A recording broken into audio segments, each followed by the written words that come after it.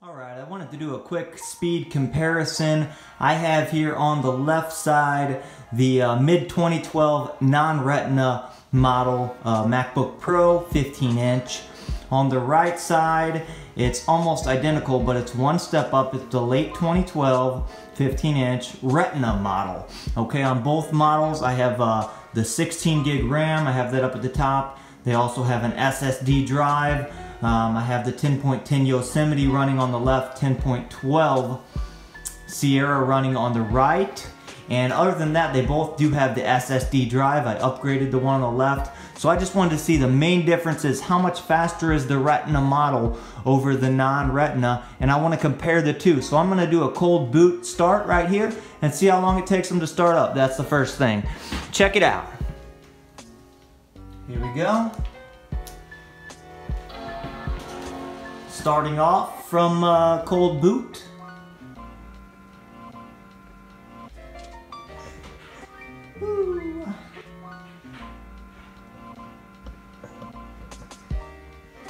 Almost identical right there on those two. And we're into the uh, desktop. I'm looking at the screens right now and just looking at the screen resolution, you know, on my old one here, I never really noticed it that much, but you do have a crisper screen, if you can tell by the video here. On the Retina model, let's see, make sure the brightness is turned all the way up on both. And just on the right one on the Retina model, there's the screen. Just looking like the colors are crisper, a little brighter compared. Let's try doing uh, like an app test where uh, if I can get both hands on here. If we open up, say, uh, Microsoft Word on both at the same time. Okay, that was actually slightly faster on the uh, non-retina model. What about iMovie? Let's open up iMovie, same time.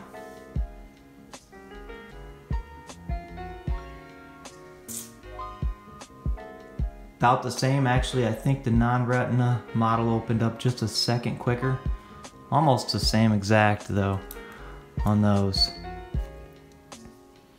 Okay. Now I want to do, I'm going to do a handbrake compression test. I'm going to open up the same file on both. I had it set up to where these are clones, the exact same hard drive, same files on them and I want to do with the same settings this is a handbrake. It's a compression tool. And kind of use up the computer's resources. I want to see what the difference is time wise for handbrake compressing the same video file. So let's try this out. If you see down at the bottom that's where we have progress. Right there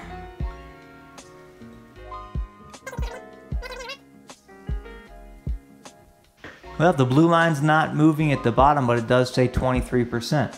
So we're looking at about the same percentage on both of those. We're gonna see which one gets done first. Should make a beeping sound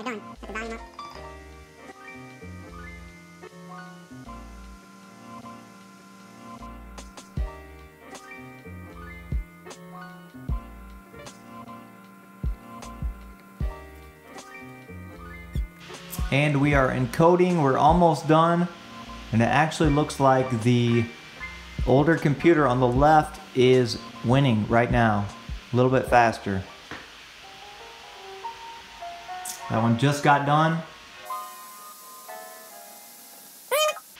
Just got done on the right, so actually about 10 seconds. I was actually expecting the Retina model to win on that, um, but we were 10 seconds quicker with the old computer.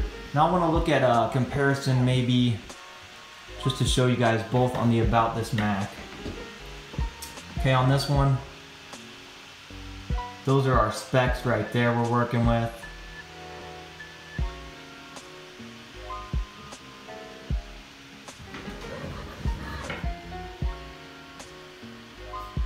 Over here, similar specs.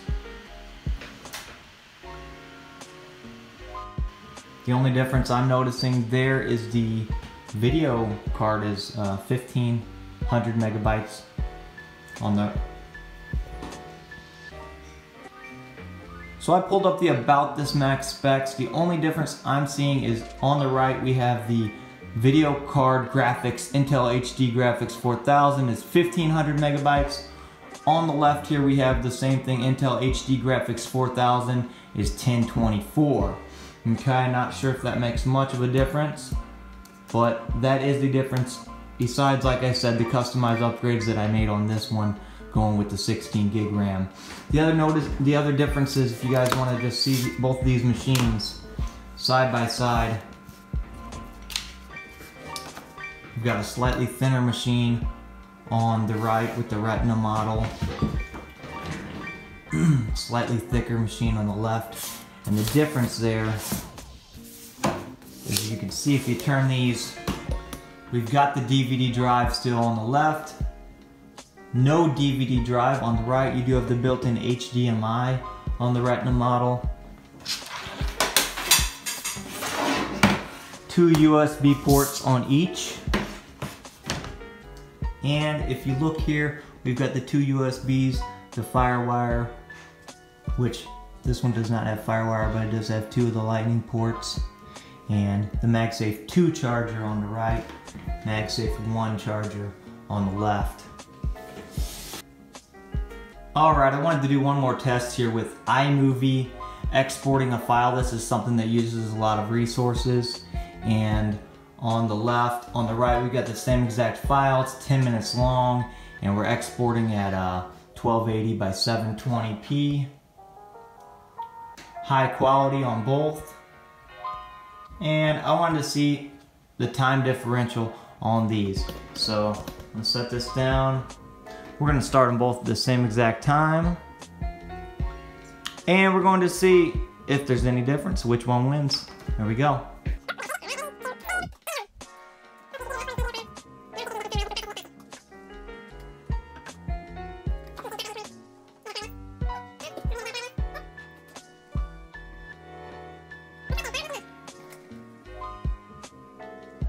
This is a 10 minute video file. That one just got done. About a six second difference faster with the Retina model. Share successful. Done. It was maybe six seconds faster. I'm gonna do one more test. Quit both of those out. Let's do the restart test. So this is a cold boot. We're gonna go restart on both.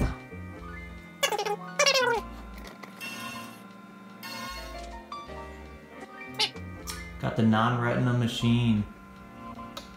Winning again. So uh, I did a various uh, tests there. Both machines very, very similar and not much difference with this one. I think I like on the Retina model, you got the crisper screen. That's one thing.